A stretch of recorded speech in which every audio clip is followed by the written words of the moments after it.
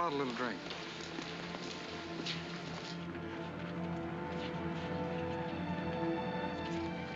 Looking for somebody? What I do? Buy uh, a little something, maybe. Lonesome?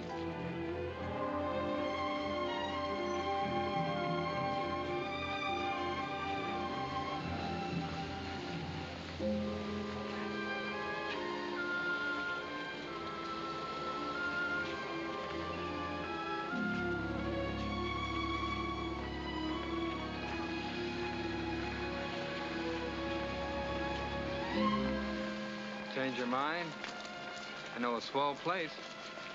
Nice little bar down the street.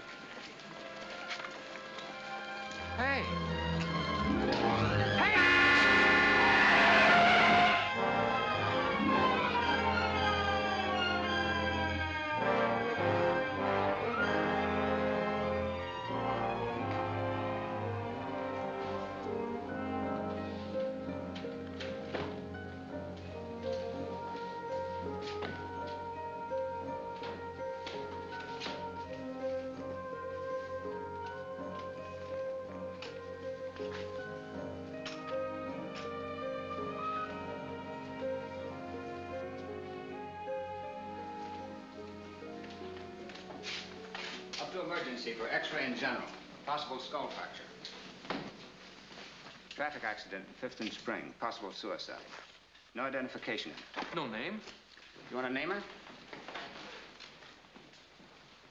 A mystery woman.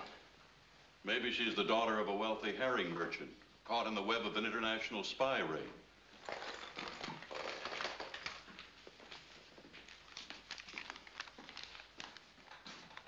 She knows five guys in a row. Oh, lucky girl.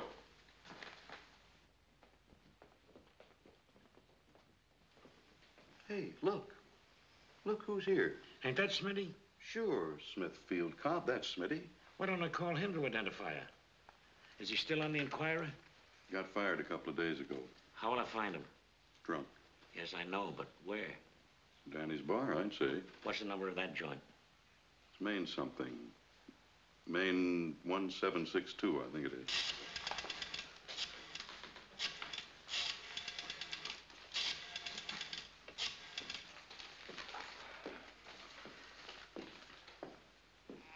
Busy. Oh, no, honey, you ought to know better than that. I've been remembering about it all day. Sure. You ain't kidding. Yeah, meatballs and spaghetti. Rotten. What'd you have? Who? Well, I don't think you ought to, honey. You know how it is. Hey, wasn't that Smitty? It looked like him. Yeah, honey, yeah. What do you know? He didn't come in. He had a suitcase. Must have been thrown out of his boarding house. Set one up for Smitty, Dan. He'll be back. This is the only place left in town he can drink on the cup. That's not very complimentary to me, Mr. Nelson. Smithfield Cobb comes in here because he likes my conversation. We have some interesting cultural discussions. I bet. Dan, did he ever tell you? Tell me what? We only converse about Peter Ibbetson and the universe. Yeah, we know, we know. Did he ever tell you anything that would explain the, you know, the change in him? You mean what started him drinking all of a sudden? Yes, Mr. Walker, I asked him. You did? Yes. I said one day after he'd had a few and was getting kind of ripe and talking kind of loose, I said, Mr. Cobb, I said, what happened to you over there in the war that you came back so different? He is a different man, you know. Came back and started hitting the bottle. Just like that. Ah, well, one day, the most successful newspaper man in town. The next, a very unhappy person. And what did Smitty say? Well, if I remember correctly, it took him a long time to express it. You know how he talks when he wants to. A very fine vocabulary. But what it all added up to was. I should mind my own business.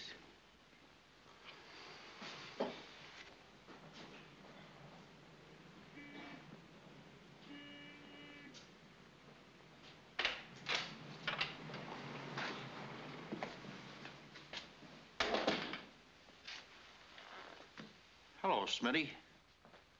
Well, Good evening, Mr. Cobb. I thought I'd drop in and have a drink with my friends. We thought you thought that. You must be planning on a long stay with your friends. Last time he brightened this corner for eight days. What's your beef, Nelson? Isn't it enough you took his job? I'm not proud of it. Lots of people have taken his jobs. Don't blame me for his condition. I only took the one before the one before the last. You got reason to be sore. I'm a tough guy to follow. But you'll be pleased to know that I'm leaving the city. Mm, that's tough on the city. Newer and bigger opportunities. Pour me one, Danny. Poured it when we saw you walk by. I see. Thanks. To Chicago. And to you, Smitty, my love, may you be the best city editor that Stony Talbot ever hired. Stony Talbot. You, city editor of the Chicago Record? Yeah, I just got Talbot's wire this morning. Then I want my five bucks back. Huh? That's what I spent on the flowers I sent Stony Talbot last month. When he died. Well, how do you like that? And I only got the wire this morning.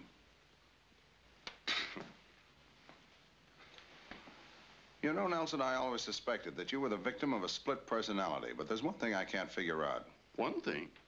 Yeah, if you've got two personalities, why do you always use that ugly one? Listen, you All know- the best in the world to you, Smitty. When do you leave?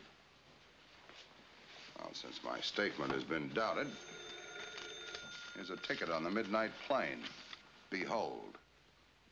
Then you won't be needing that drink. Well, yeah, Dex. It's for you, Smitty. Sergeant Bates at the receiving hospital. Yeah, tell him I'm busy. Come on, quit playing nursemaid. Let me have that drink. He can't talk. Same old reason. He's got a cork stuck in his throat. Hold that phone. Wait a minute. Well, I sure enjoyed that drink. Pour me another one, Danny. Walker's right, Mr. Cobb. If you take that drink, you'd never make the plane. You know that, Mr. Cobb. I want you to identify an accident case. Some dame stepped in front of a car and they found your name in her purse. So what? Pour it, Daniel. You'll be along in a few minutes. I said pour me a drink. What about the lady in the hospital? Oh, it's raining again. I'm comfortable here, so what about it?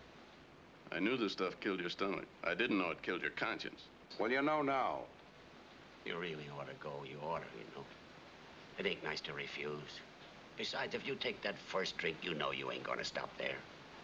Identifying corpses is much better than spending the whole three hours here. The whole three hours. That's strange talk coming from you, my friend. What about Peter Ribbitson? I thought you didn't believe in the limitations of time and space. Pour one for Peter Ribbitson. You know, I've been coming here for five months now, and I've been hearing about Peter Ibbetson, Peter Ibbetson, Peter Ibbetson. And I never admitted it before, but who is this guy, Peter Ibbetson, and what's his racket? He was a guy in a play. And in a novel, too. He was in jail, but he knew how to think. So he escaped from the ugly reality of his life on the wings of his imagination. In his mind, he was able to go any place he so desired. All over the world, even back into the past. All in his mind, see? In a manner of speaking, that's how he got out of his prison cell. No bail? No bail. Just. Now do I get a drink? Mr. Cobb, I'm going to refuse to sell you one. I wouldn't want it on my conscience that you missed your plane. Here's to Peter Ribbitson.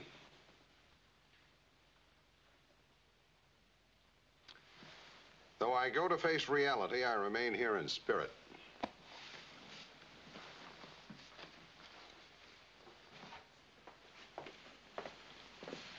I guess I won't see you boys again. If any of you ever needs a job, look me up in Chicago. We'll hunt for one together.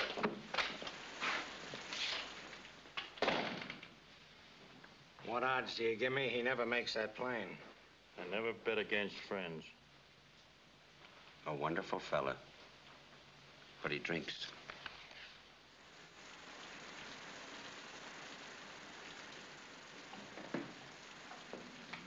Evening, Beck. Hiya, Smitty. Hello, Smitty. Benny again, huh? Mm -hmm. Well, how does it feel to have a girl try to commit suicide over you, even when you're just one of five and the last one on the list? I don't get it.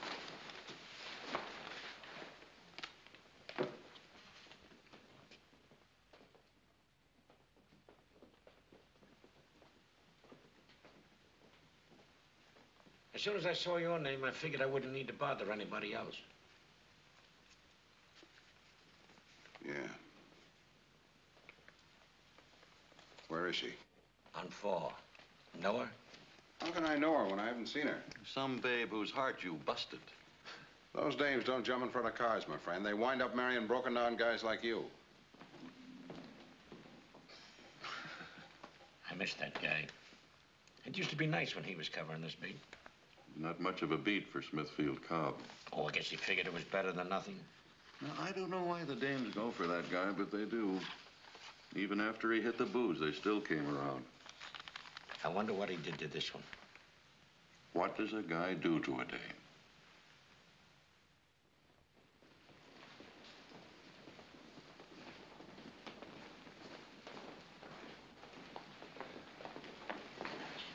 Hello, Smitty. Sergeant Vick says you're identified. Yeah, where is she? She's still up in X-ray. You'll have to wait. How have you been? Okay. She should be down any minute. Smitty, oh, I'm glad you're here. I think I've got something. Yeah, go away, Junior. But I've got a woman. Congratulations. Huh?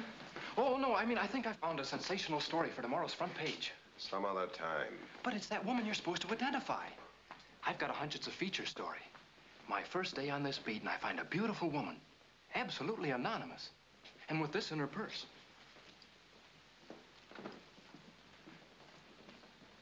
The Congressional Medal of Honor. There aren't many of those around. They're kind of hard to get, Junior. See, you're interested. It is a story, isn't it, Smitty? Yeah, it's a story. She must be some hero's wife or sweetheart or something. And if she is, where is he? Where most heroes are, probably. Oh, Did you see her? when they brought her in, yeah. Would that be the girl? Yeah. Yeah, that's the girl. Then you do know her. I know who she is. Well, who is she? Come on, tell me, Smitty. Give me a break. You're not going to write this yarn, Junior. I'm not going to That's write... That's what I said. It's taking them so long up there. I need a drink. You're not going to try and steal this story from me, are you, Smitty? Look, Junior, this is an old story with me. I'm just writing a finish on it, so lay off. But, Smitty... Look, leave me alone, will you? Oh, hey, Smitty, there she is. That's her. Come on, let's interview her. I said lay off.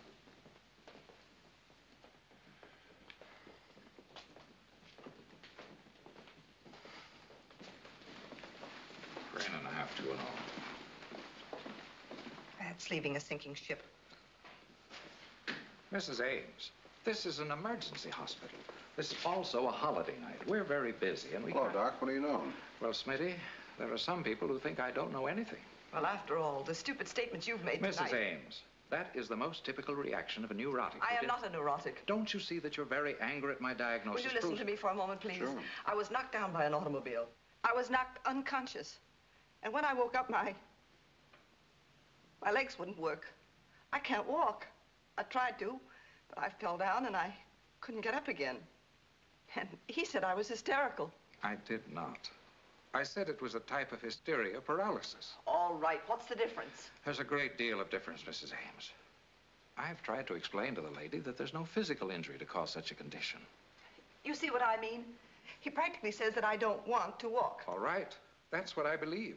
I believe the paralysis is due to some neurotic, If some, simply repeating that word is part of your plan... some mental or emotional disturbance. Is part of your plan to give me a neurosis to prove your point. Rather than anything physical. The examination and x-ray showed no injury whatsoever. I have So- never heard such absolute drivel in all my life. If I could walk, why should I choose to crouch here in this thing? I'm sure I don't know, Mrs. Ames. But that's a very interesting question.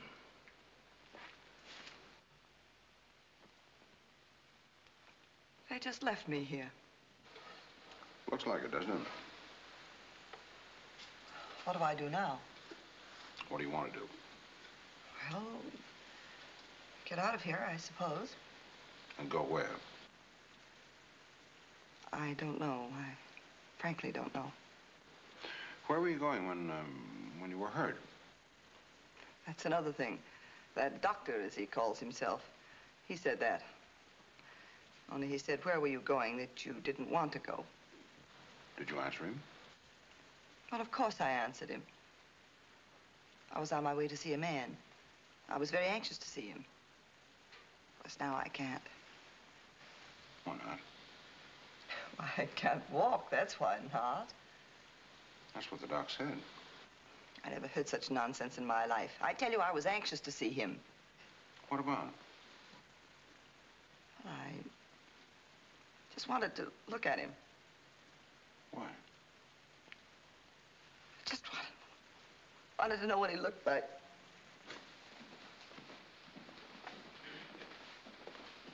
You're older than I thought you were.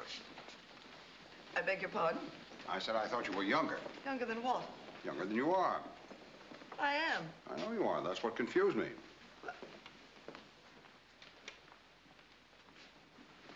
Mary, can I take Mrs. Ames into one of the treatment rooms just so she gets hold of herself? Of course. Four's open for a minute. Thanks. What is it, Smitty? Some books to balance. Bookkeeping. Excuse me, I, I know I shouldn't ask you any questions, but well, I... then don't, Junior. Plagiarist. Where are you taking me? Out of this fishbowl. Oh, thank you. It is difficult, everyone staring at you. On the contrary, nobody's even looked in your direction. By the way, who are you? Why should you... Smitty, how do you do? How do you do? I'm a friend of your husband. You knew David? Know him very well. You say you are a friend of my husband. Didn't you know that he was killed in the war? Two years ago it was. Two years ago this Christmas. On the 22nd of December. At the Battle of the Bulge. O'clock in the evening. He was... It was a hand grenade, you see. He threw himself on it deliberately to save... They buried him there. Right there. But I want them to bring him home so that he can have a funeral, a proper one. Just as the sun goes down. O'clock in the evening. Because that's when he died, you see. Do you know the hour he was born? What? Do you know the hour he was born? I know. No, I don't. Why? If I were a doctor, I'd have a chart headed, Why is the beautiful young Mrs. Ames turning into a middle-aged neurotic? And right now I'd put down, doesn't know the hour her husband was born, but treasures every precious detail of how he died. Oh, you would. And I'd be pretty close to getting the answer. You're like all the rest of them around here. You think I've lost my mind, too? Sometimes I think I have myself. Things make me cry. I'm not a crying woman ordinarily. Here you are, Mrs. Ames. Take this. Come on. Up's a daisy. What is it? Just something to relax you. You had a pretty bad shock, you know. I'm amazed anyone around here will admit it. There you are. You'll be hunky-dory in a few minutes. What do you do with her after she gets to be hunky-dory? Send her home, of course. That is, if there's nothing the matter with her. Well, if there is something the matter with her? But there isn't. I'll look in pretty soon. Now, don't get yourself in an uproar.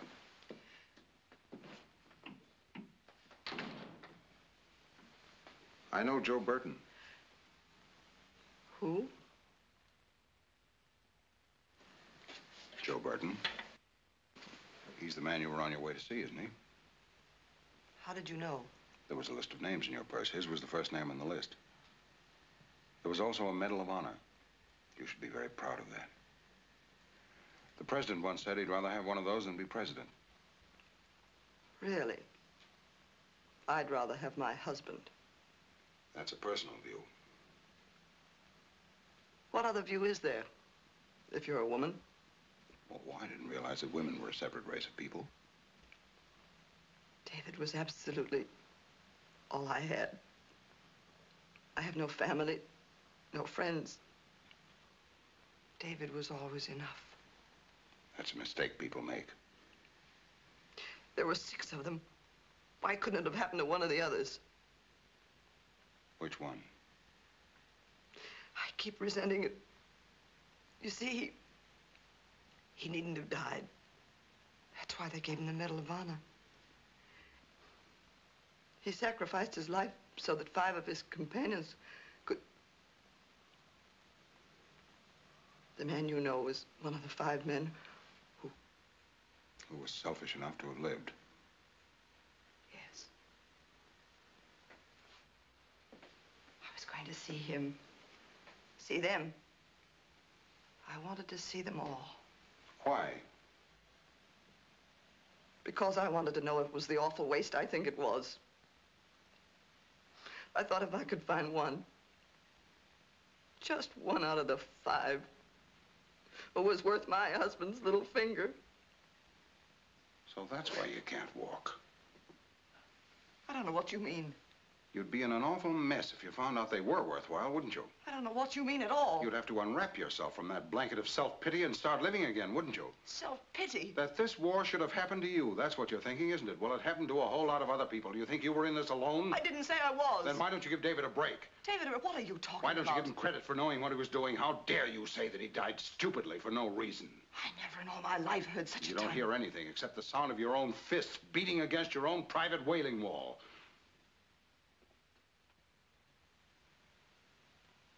Does it seem like that? I'm sorry. You've got a right to. It must be that lovely pill. I feel all floaty. I'd like to meet him. I really would like to meet him. Meet who? Joe Burton. All of them. When I can get around again, you'll have to introduce me to him. I know all of them. Really? Well, for heaven's sake, what a... Don't call it a coincidence. Oh, I, I wasn't going to.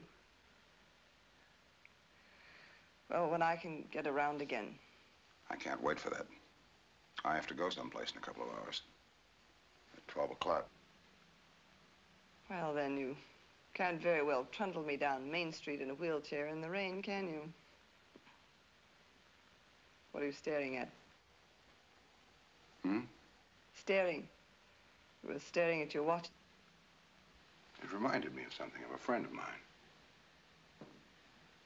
Look, if, if destiny sort of walks up and says hello, you, you shouldn't throw it over your shoulder, do you think?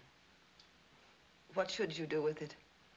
I mean, it, it could be that you met me just so you could meet Joe and the others. Really? What an interesting theory. Let me tell you about this friend of mine. He's a wonderful old man. He says that time and distance are a couple of things that people just made up to make it tough for themselves, to, to fence themselves in. They're not true, and he can prove it to you. You can? In other words, you could be here and down on East Fifth where Joe works all at the same time. Do you understand? Well, not exactly. Why not? What did Peter Ibbetson have that we haven't got? Peter. Oh, you mean the man who, who was. Who refused to let a prison cell make him stay put. He just imagined. At that- first he did, yes, until finally it became reality. Look, I'm a pretty good writer. Yeah, a critic once called an article of mine a vivid word picture. Word picture? That's right. If I could give you a vivid word picture of Joe, would you try to see it? Would you try to see while you're listening? It's very important, you've no idea. Important to you?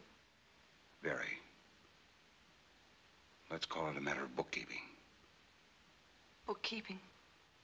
If I could make you feel better about David, if I could make you see the man that he traded his life for, perhaps you'd be more understanding about it than, than what you are. How am I? Ill aren't you? Yes, I am. I really am. Now listen carefully and try to see what I'm telling you. I'll try. To see Joe, you have to walk along Main Street. Then you make a right turn and go down Fifth Street, see? Then you cut across the street catty-cornered to get to Barney's place. That's where Joe works. Can you see it? I saw it. I saw it this evening before my accident. I almost went in, but then I couldn't. Barney's place is the modern version of the old-time saloon, but the people are the same. This is the bottom of the heap. This is Skid Row. Here's where you find the leftovers and the forgotten ones. I can't see them. That's all right. That's because you've never seen people like this. Where's Joe Burton? First, I'm going to show you Joe's girl, Katie. Without imagination, there's no reality. Not much of a voice, but it's a living. Katie's around 18. She doesn't belong in this joint, but Joe works here, so here she stays. That's Joe over there. He's not more than 21. He's a husky kid. He doesn't look like the wrecks who frequent this place. He just works here. He's the bouncer. It's a pleasure to be thrown out by Joe. He does it so graciously, with style. Joe's moving in because one of the customers is getting out of hand. He thinks he can fly. I don't claim I can make a long flight, but I can take off from here and fly. Well, I'll fly over to that table there and fly back without touching the floor. You think I can't make it, don't you? I can tell by your expression. I don't say you can't make it. I simply say if you don't make it, I'll have to throw you out. It's the silliest thing I ever heard of. A man can't fly from a bar stool. How do you know he can't? He hasn't tried. But he... Now you've made me lose confidence in myself. I could have done it. I know I could have done it. Shame on you. That's the worst thing you can do, is make a man lose confidence in himself. Did you hear what he said? He's right. That's the worst thing you can do. Shame on you. Shame on you. Well, I never. Hello. Hello. I'm glad to meet you. I didn't know about you. I only knew about Joe. You can't know about Joe unless you know about me, too. We go together. It's not fair. It isn't. It's not fair that I should lose. Did you lose something? Yes, yes, I did. I can't remember just now what it was. It was an earring. I, lost an earring. I was on my way here and I had an accident. I can't walk. That's funny. Joe can walk and he only has one leg. That's why he's a bouncer. It is? Yes. You see, he has to prove that he's as good as any man who walks. Well, I, I don't know anything about that. I only know that I can't walk. He made me come here anyway. You didn't really want to, did you? You really were afraid to, weren't you? Oh, I was very anxious to see him. I saved his life. I mean, my husband did. Uh, could we sit down somewhere? I'm getting sleepy. It's the little pill, I suppose. I'm glad to. Joe's over there at the table, building our house. He is? Where's your lot? What? Your lot? Haven't you bought a lot? No. Well, now, you can't build a house until you have a lot to build it on. You have to have that first. You do? I thought first you had to have the wish to live in it with someone. You get me all mixed up, and, and I resent it. You don't have to apologize. Lots of people don't have any imagination. Joe. Joe, this lady would really like to see what you look like. She hasn't any imagination. I know. She doesn't even think a man could fly if he wanted to. Everything has to be imagined first, or it couldn't happen. I do have an imagination. I do. I couldn't be here if I didn't. Joe. Joe, don't let her see our house. She doesn't believe in it. You haven't even got a lot. If you don't believe in it, it can never happen. I won't let you tear down our house. I don't want to tear your house down. You don't give other people a chance. You don't even know when your husband was born. I'll tell you when he was born. When he died. You aren't even grateful. David died for you. David died so we could build our house. You want to tear it down. No, no, I don't. But you haven't even got a lot yet. You can't build a house. You can build a house on a cloud. You haven't even got a lot. I don't know what there is about that that makes you so angry. That isn't a real house. There, you see? One breath. and- We didn't know it wasn't real. Shame on you. Shame on you. Please don't cry. I'm not ordinarily a crying woman. Mrs. Ames. I think she's fallen asleep. Mrs. Ames. Mrs. Ames, I'm speaking to you.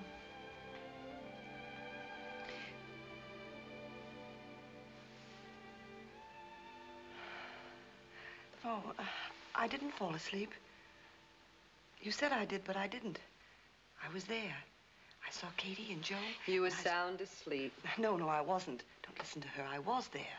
I heard every word you said. I was at Barney's place. I saw Joe and Katie so clearly. I, I'm sure I'd know them if I saw them again. I was afraid you'd fallen asleep and spoiled it all. Oh, no, no, I didn't. I saw the little man that thought he could fly off the bar stool. I heard Katie sing, and and I saw the house Joe was building on a cloud. It's not unusual for a sedative to make you have funny dreams sometimes. Now, don't worry about She it. She wasn't dreaming. Now, don't frighten her. Of course she was dreaming. You were talking your head off. When I came in, you were crying. But you thought it was someone else crying. It was.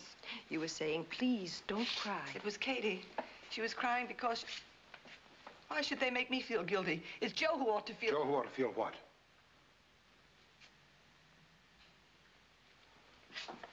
Where are you taking her? Dr. Morton's.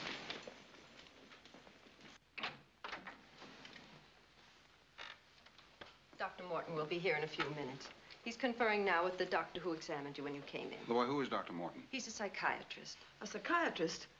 I don't want a psychiatrist. You'll find him very helpful. He'll get to the bottom of those bad dreams you've been having. I haven't had any dreams. And if I had, I don't want anybody to get to the bottom of them.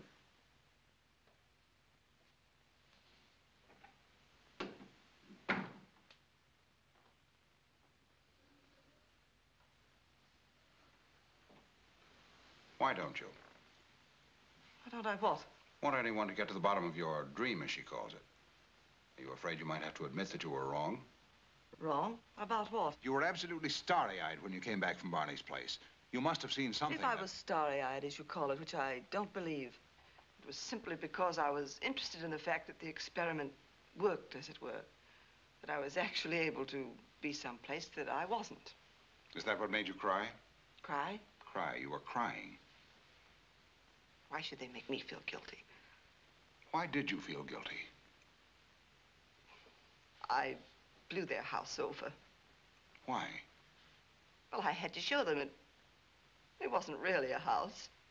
What was it? Just pasteboard. Playing cards. One breath would destroy it. I showed them. Did you and David plan a house? Oh, no. Oh, David was much too sensible to start planning before we were ready. Of course, now we'll never have a house. Joe Burton was too young to be sensible. David knew that. David also knew that it's not the sensible people who build a new world. It's the Joes. The youngsters who think a man could fly if he really tried. Is that the reason for all of them? Because they were young.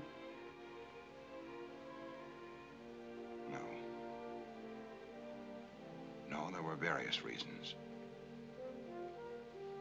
Let's consider Eddie Pearson, for example. Edgar Pearson. Somewhere in Pasadena. He's left Pasadena. He's working in a bleak and desolate part of the desert.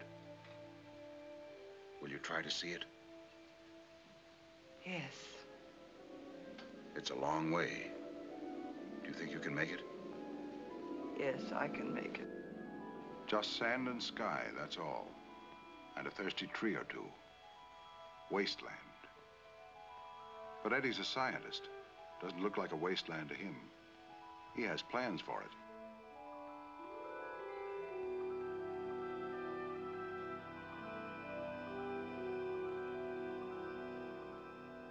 I'm looking for Edgar Pearson. I'm his wife.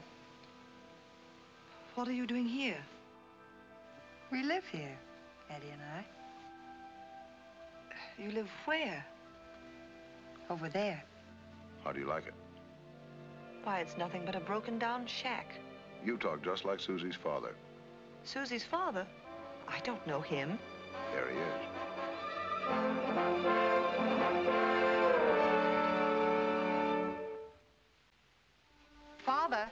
She thinks I'm a fool. You're a moonstruck idiot, and Eddie's a bigger idiot for dragging you into this. I want you to come home at once. I love Eddie. Is that any reason he can't be executive director of all my corporations? They were your corporation's father, not Eddie. No. She, she has a 40-room home in Pasadena. This is my home, Father. This harebrained idea of Eddie's may take him two, three years. Well, if it takes him forever, what of it? Why don't you give him a break, Father? Why don't you give him credit for knowing what he's doing? How dare you say he's stupid? He is stupid. What'll he get out of this? The satisfaction that he saw his own opportunity and made it. Perhaps the joy of playing his own hunch. But above all, the pleasure of working at something he likes. Do you like it? I like what Eddie likes.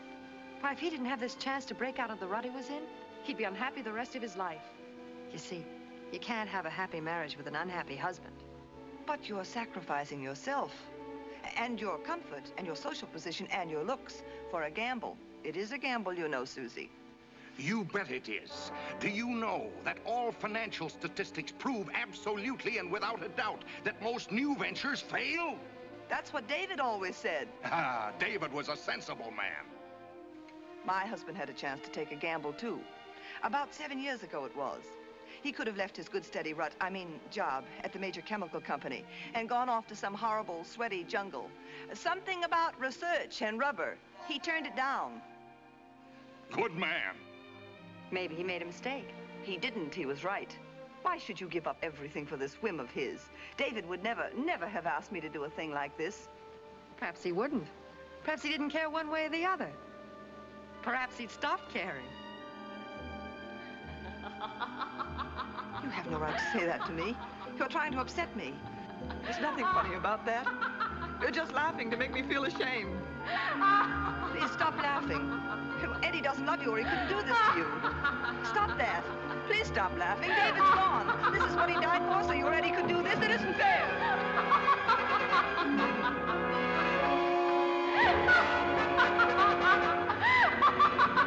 Stop that.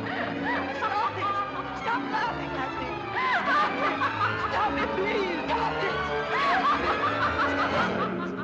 Stop it. Stop it. Stop it.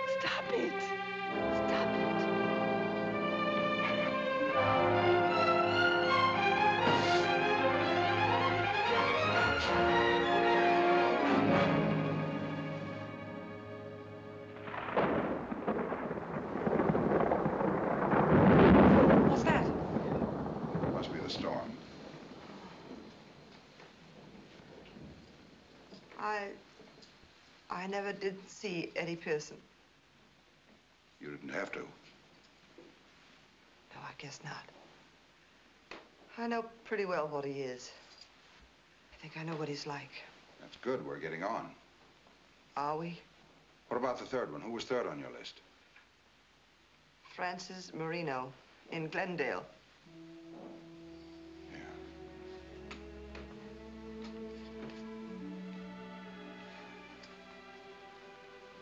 There's a garden back of a little cottage in Glendale.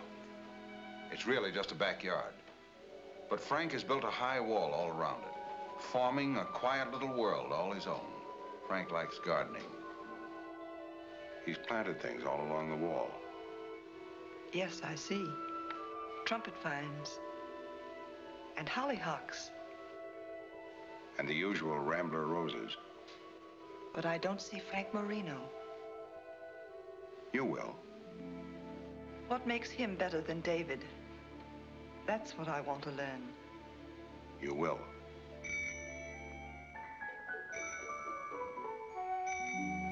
What an adorable child. Cute as a button. Oh, sorry. Oh, little girl. Perhaps you could tell me. He's my father. Oh? I, I'd like to see him. So would I. Isn't he wonderful? He's the third man. His name is Francis Marino. I'm Emmy Marino. How do you do? You're pretty. Thank you. You're pretty too. And you look very intelligent. Thank you. So do you. You're trying to make me like you, aren't you? Yes, I am. I haven't any little. I was looking for something. For someone. I know. I'll show you where. This way. Would you like a cup of tea? My father says that when company comes in the afternoon, you should give them tea. But if they come in the morning, you should give them coffee.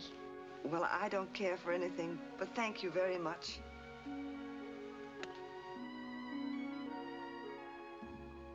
I help my father. That's because my mother isn't here. She is dead. Oh, I see. I'm sorry. I, I didn't know. You must be lonely, too. I don't have time to be lonely. That's because I take care of Barbara and Tony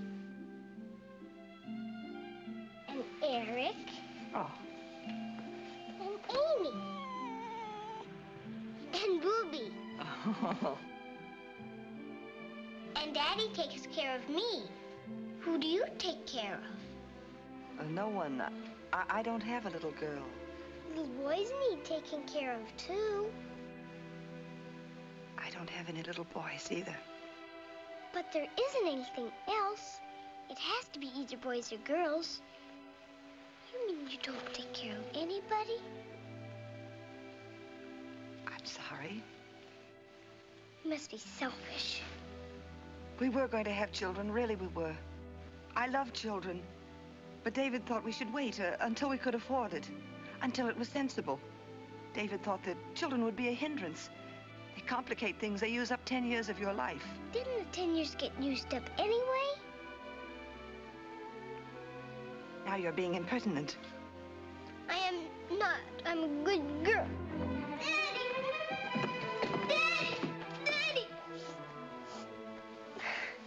What is it, Button? What's the matter?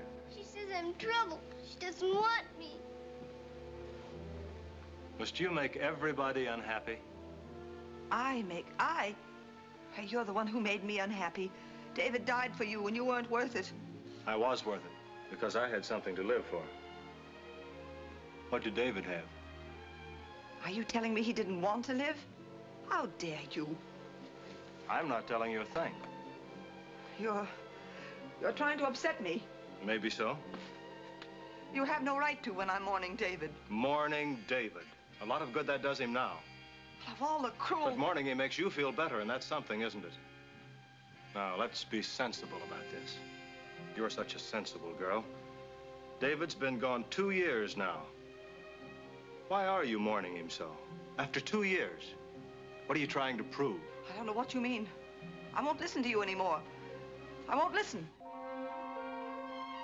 Where is she going, Daddy? She's trying to get away From what, Daddy? from herself. Can't she do that? No, she can't.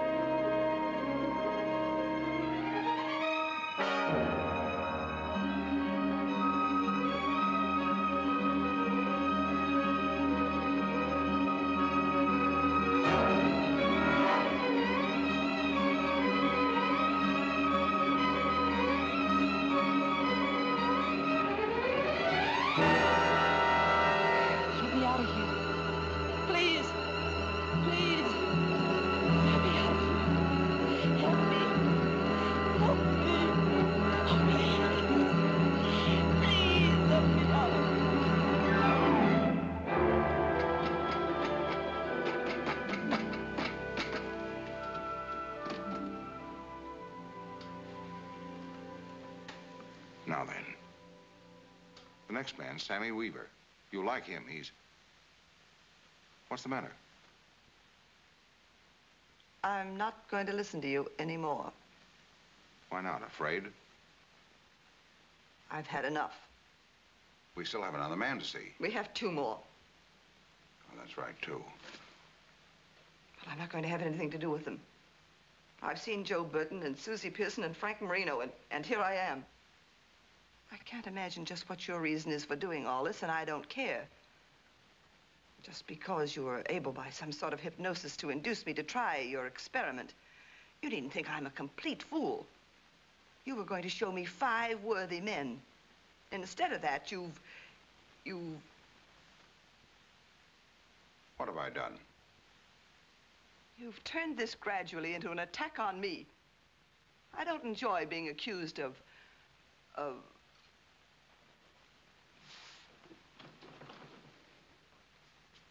Accused of what?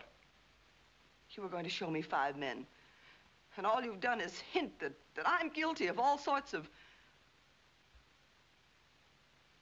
How dare you set yourself up as my judge? I'm not going to listen to one more word from you.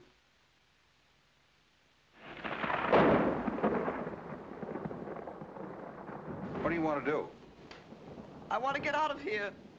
You leave here in that wheelchair and you'll spend the rest of your life in it. I'm not going to let that happen. Oh, you're not. Of all the officious, objectionable... Just what is your concern with my life?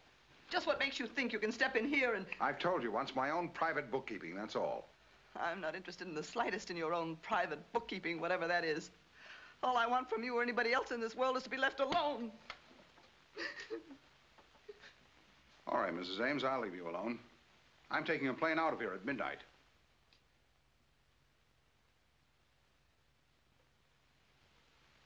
Sit there and enjoy yourself. Whimper. Turn yourself into an invalid. A permanent, cowardly invalid. How dare you speak to me like that? How dare you? You don't want to get well. You want to stay sick.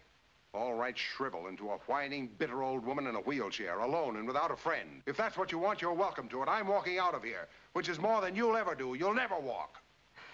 I will. I will walk. I will. I will. I will. Jan.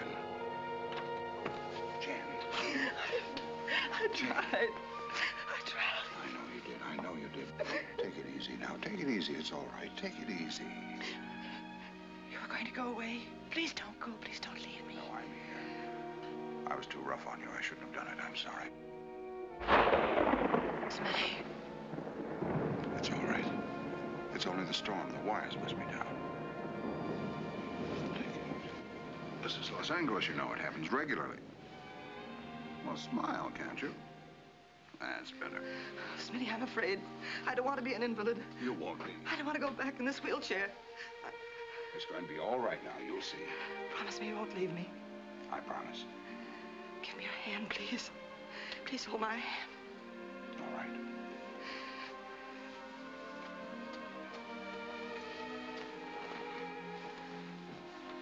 I'll do anything you ask, Smitty. Only don't leave me alone. I... I don't want you to dislike me. I don't.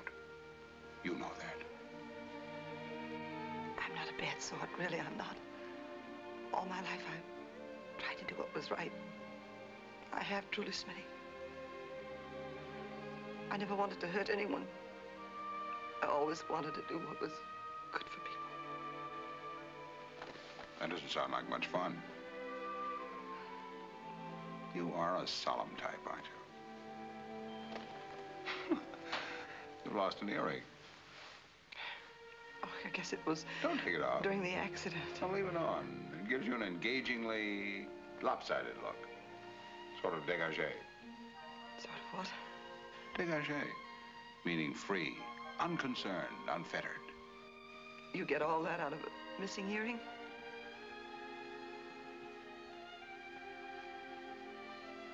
Let's go get us a bucket of champagne. I mean it. We can go anywhere we want to now that we've mastered the Peter Ibbetson technique. So let's choose a very difficult place to get into, just to prove we can.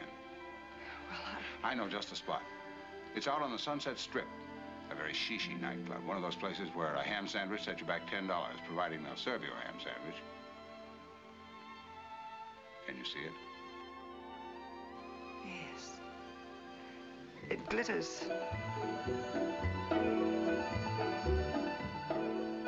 I've selected a good orchestra. We may want to dance. It's time you started going out and having fun. Now let me see you smile again. How's this? Very nice. Dégagé? Dégagé. But I can't go to a nightclub alone. I don't want you to leave me, Smitty. Hold my hand. I'm with you. And holding your hand. I didn't realize how attractive you are. You're blinded with those diamonds. I'm a bit dazzled myself. Oh, my goodness, look at me. I hope you like what I chose for you. What a time I had with the color until I realized that diamonds are your color. You should wear them more often. Well, thank you. What time is midnight? What difference does it make? Well, something's going to... Someone's leaving at mid... sure I have a wristwatch here somewhere. Don't you think maybe they're a little bit too much? Hmm, I don't know. Perhaps uh, just a little. Hmm, perhaps. What shall I do with it? Oh, toss it in the river. I tossed my school books in the river once. No kidding. I always wanted to, but I never had the nerve. What river? There's only one river. Anything else is just a stream. You lived on the Mississippi. Of course. And here's the river. See that bend there? Hmm? I lived right there. Littleville, population 840. I lived right across the river from you. Right there, small town, population 840. No. Mud. Nice, slimy, oozy mud. Yeah, right between your toes. The sycamore trees with their branches in the river. Ah, and those little flowers with the centers you could eat. And when you throw a bottle in the river, it goes all the way to the Gulf of Mexico. Just think, if I hadn't taken the train to Kansas City, And if I hadn't taken the boat to St. Louis, we might never have met and been able to reach across the river. I almost missed the boat. I know you did. I'm glad you didn't. We should drink on that. I can't think of anything better.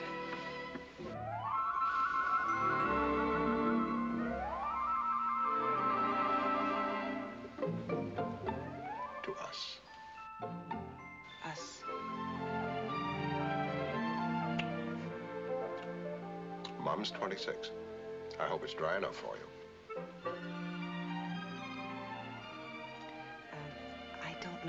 Know Mumm's dry champagne from Pop's root beer.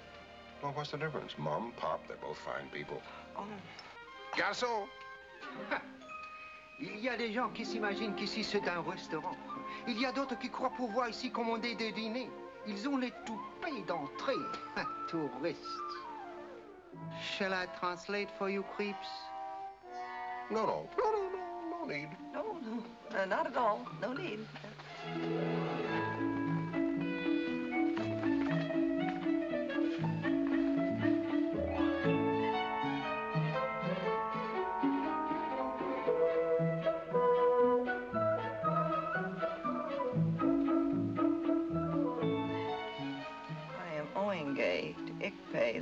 The most expensive yay, Ingthay.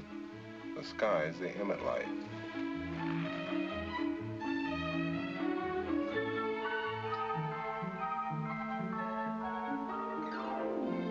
L'amour à l'amour.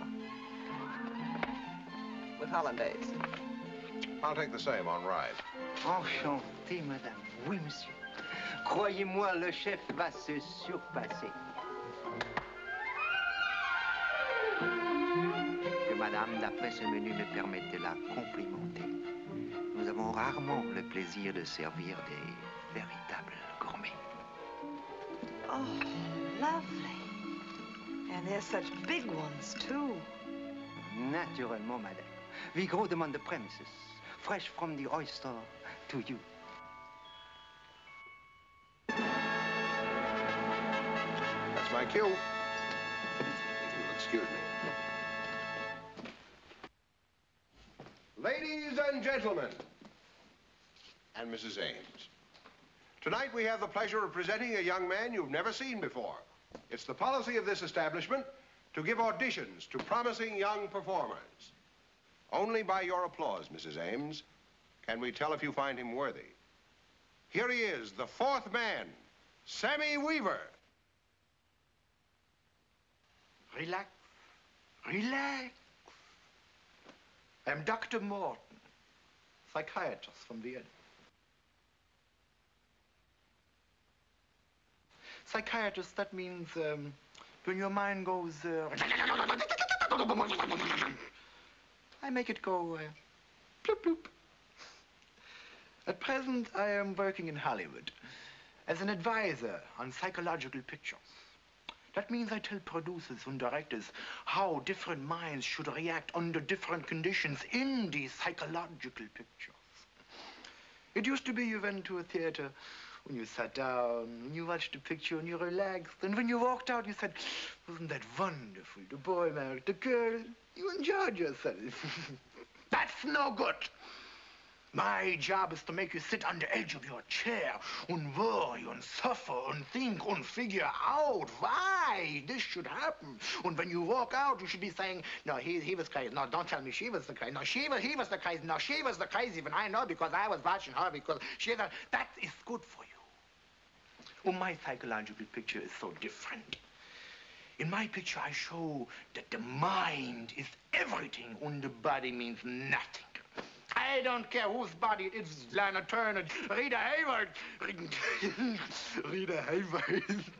well, well, no, anyway, it's the body. I mean, it's the mind, the mind. That is what my picture is concerned. And I open up so different in my picture. I open up with a blur. And it gets clear, and it gets blur. Clear, blur, clear, blur, clear, blur, clear. What is it? Rudolph, a young boy with a magnificent body, and he is walking down the street, and he watches the beautiful girls as they pass him by, and he looks at them, and all he does is he tips his hat. That's all. But you know what goes on in his mind?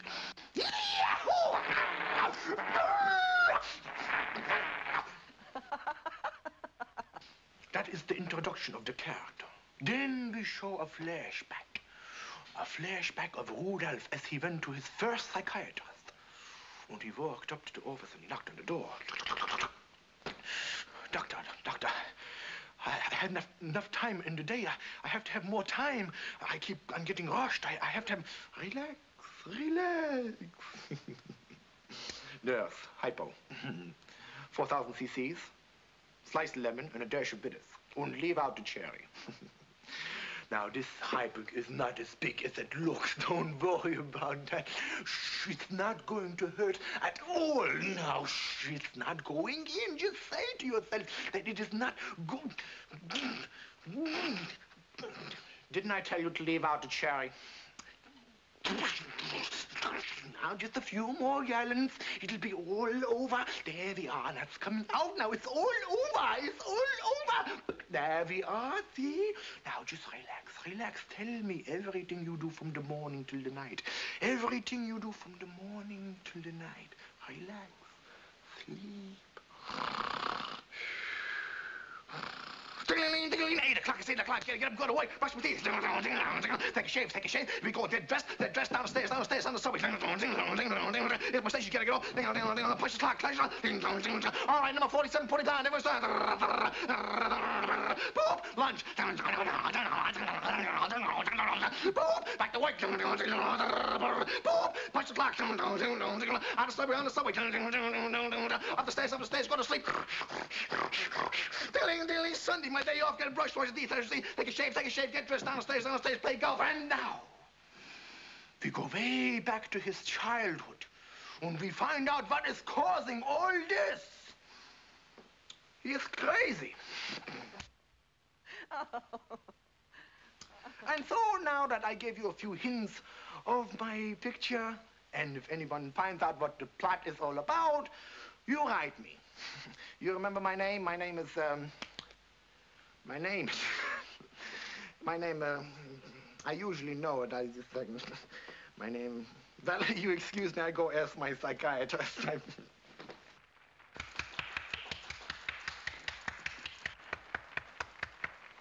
You like him? Well, I guess that means Sammy gets the job. I want to thank you, Mrs. Ames. I want to thank you for giving me my chance. I didn't give you your chance. It was David. You know Smitty, don't you? Oh, sure, I know Smitty. His name is Smithfield Cobb. He thinks I don't know that, but I guessed. He's the fifth man. Tell me about Mr. Cobb. Oh, he's the editor of the Evening Journal with a big office on the top floor. One of those crusading newspaper men, a ball of fire. A crusading journalist. Ball of fire. Know the guy long? Long enough to know the guy. Do you think it's a nice evening? I do. And uh, do you think it's going to rain? I do. I now pronounce you two in love. You heard what the man said. Shall we dance on it?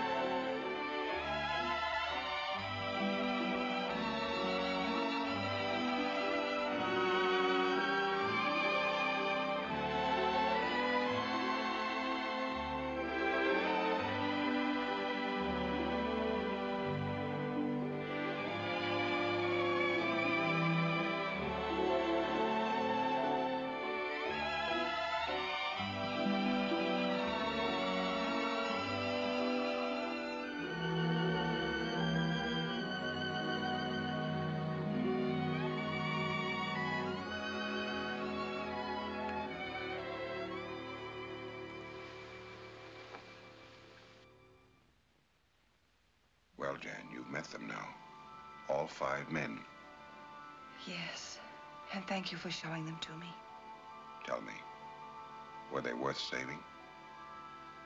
Yes, Smitty, they were. Then you should be able to walk now.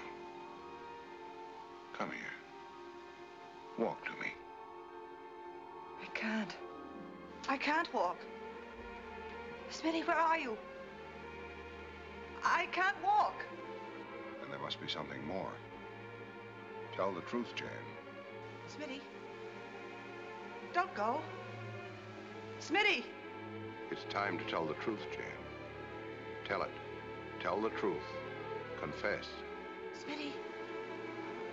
Smitty. It's now or never, Jan. I've waited as long as I can. Don't go, Smitty. I'll try to tell the truth. I'll tell it. I never really knew it before. I haven't been lying. I, I just didn't know. What? What didn't you know? That I've been blaming five men for David's death. And I should have blamed myself. I felt guilty and I, I was trying to blame somebody. Anybody but myself. I was mourning David so terribly. Because I felt that, that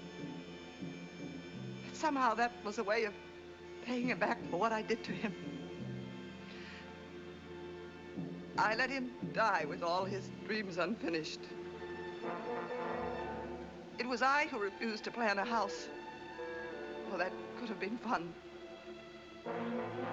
It was I who made him stay in that dull job he hated. Because I was selfish and afraid to risk my security. David did want a child. He wanted it very much. But my greatest shame is that I married him and never loved him at all. I married him for all sorts of reasons, but not because I loved him the way I should have loved him. And he knew this. It's too late to tell him I'm sorry. Oh, but I am.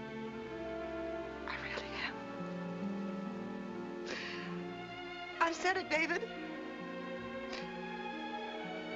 I've told it, Smitty. I've told it. Now will you come back? Please come back, Smitty, please. Smitty. Yes, I'm here, Jan. come to me. But I can't. I can't walk, Smitty. Of course you can walk. There's nothing to stop you now, Jane.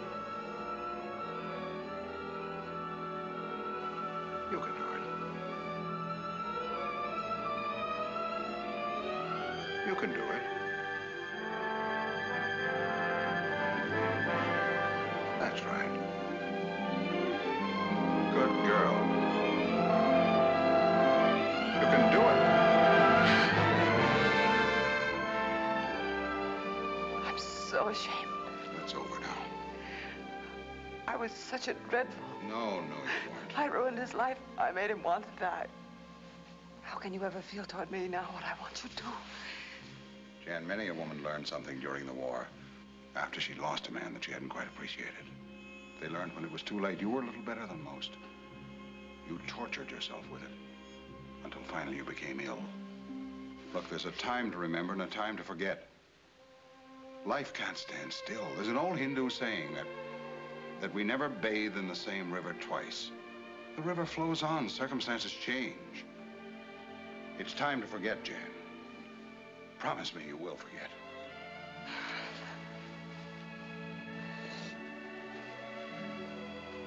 Now then, let's see you walk. Walk, you know, right foot, left foot. Well, I, I'm still a little wobbly, but I'm walking. You're practically dancing. Thank you, Mr. Cobb. When'd you guess I was Smithfield Cobb? It suddenly all added up, and I knew.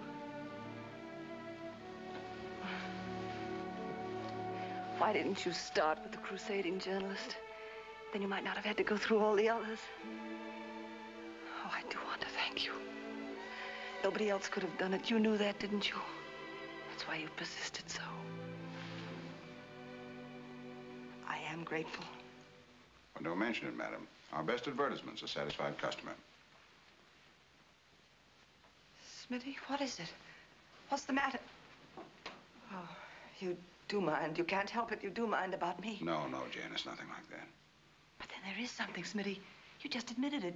You just said it's nothing like that. What is it, Smitty? Good evening. I'm Dr. Morton. I'll wait outside.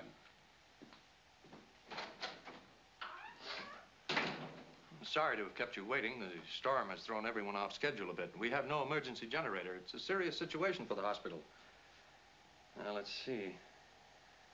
Oh, but this card says that yes, you're... yes, I know, but I, I'm all right now. May I go, please? Well, I must make out some sort of report. Just say that Janet Ames was ill, but that she's cured now. We'll talk about it some other time, if you wish. Thank you very much, Doctor. Oh, but Mrs. Thank you, Doctor. You've been very kind. I appreciate everything you've done for me. Good night, Doctor.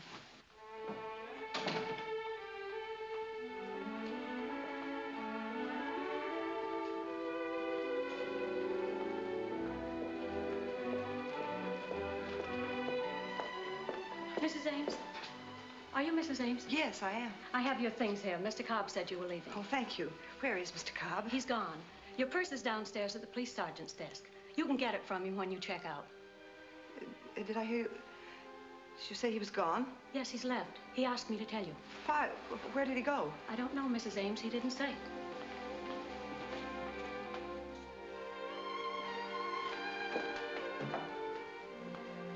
Oh, the elevator isn't running. The power's off. The stairs are over there. Oh, thank you.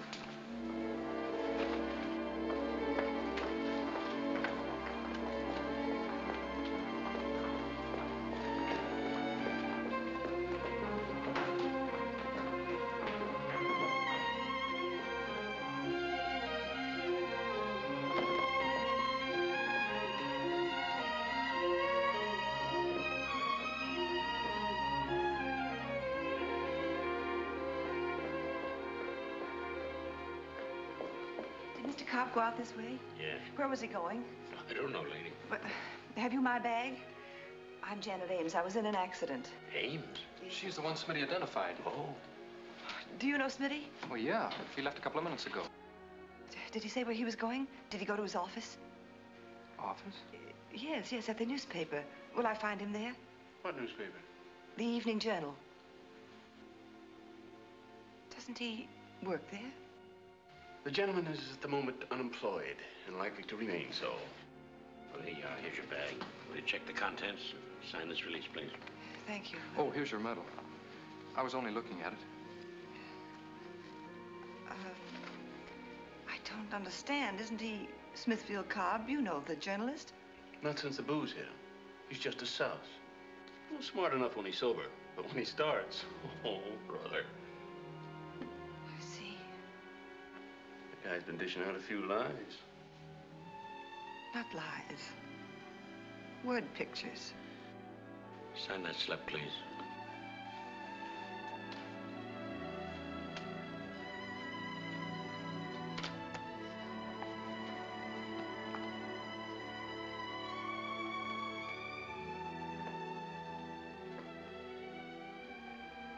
Doesn't one of you know where I could find him?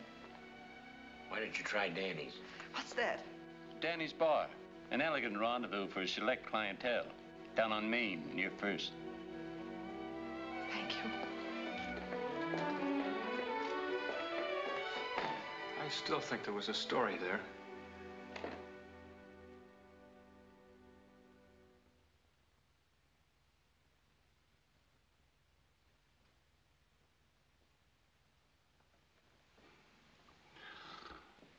Counting on my fingers.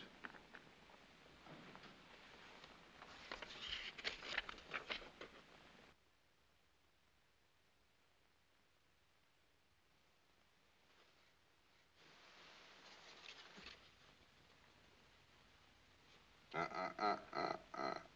I'm closing up now, Mr. Cobb. It's after 12. Besides, you said just one drink. That's the smallest lie I've told tonight. As a liar, I'm a five-star expert. In fact, I have any number of small accomplishments.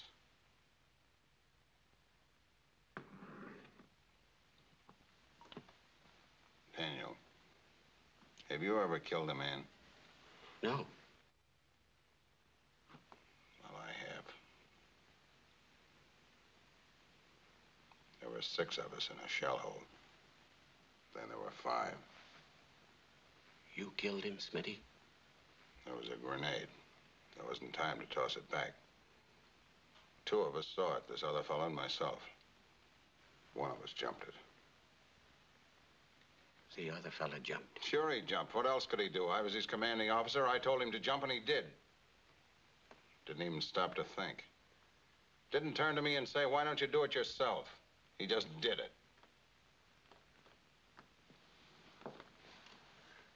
But answer me one thing, Danny, if you can. What right had I to order a man to die? Why didn't I jump myself? I was as close to the thing as he was. Why didn't I do it?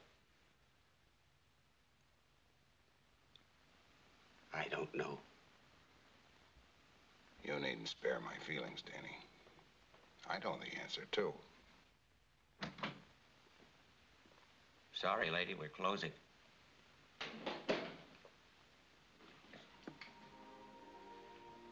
Lady, I said we're closing. We open tomorrow at 11.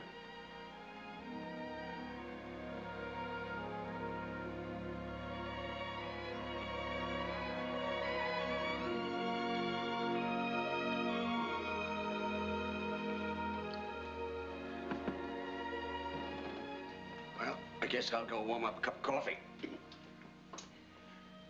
Nothing like coffee to finish the day off. Excuse me.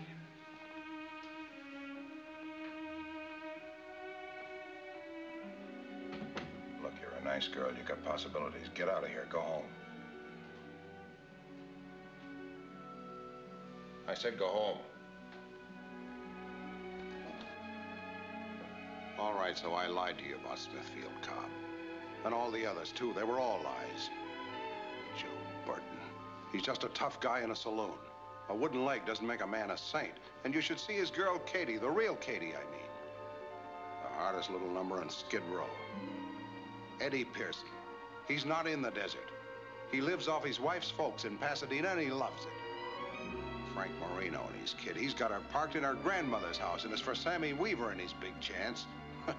His idea of a big chance is a $2 bet on the races. And finally, the crusading journalist, the ball of fire. That's me. One step above a stumble bump. Pack of lies.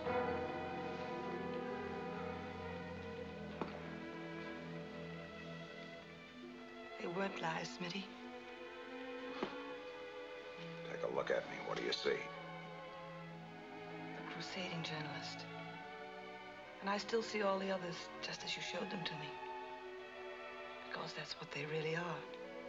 If you look at them with your understanding and not just with your eyes. But there is one thing I'm not sure about. When you kissed me, Smitty, was that a lie?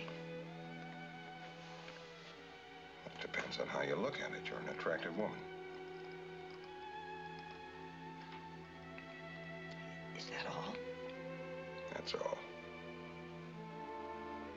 Your your bookkeeping?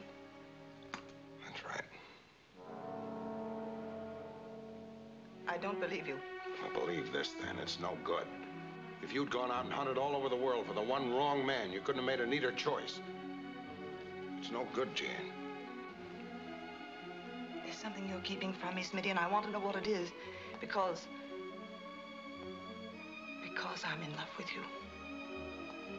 Jan, for heaven's sake, give yourself a break. Get out of here. Go away.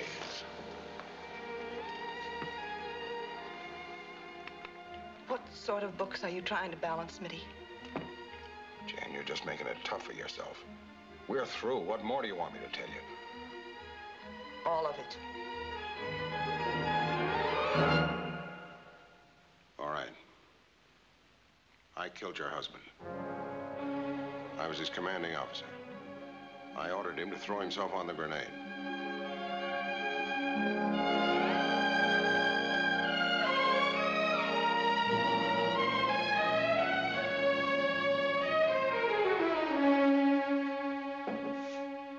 So that's the reason for. this. And it explains your bookkeeping, too, doesn't it?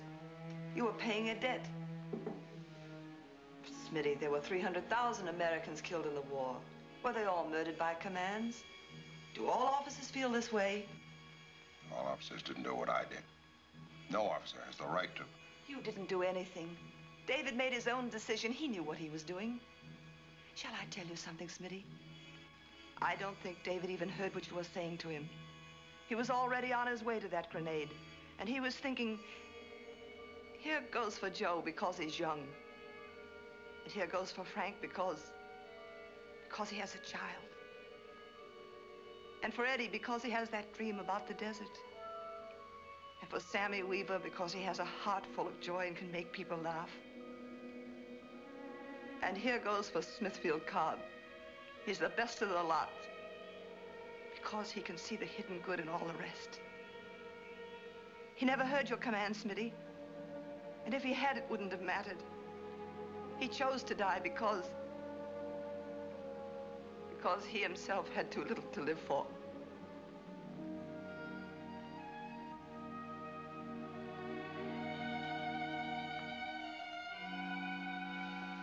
So we're both guilty, you and I. And we'd better work it out together. We can help each other.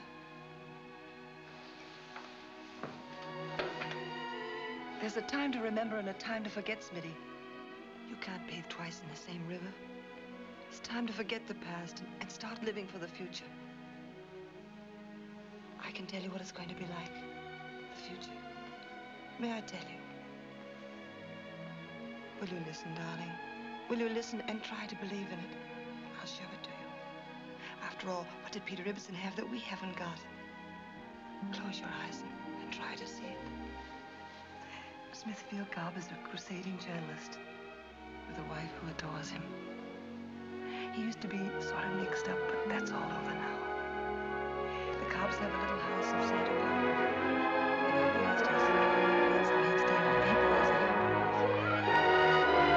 On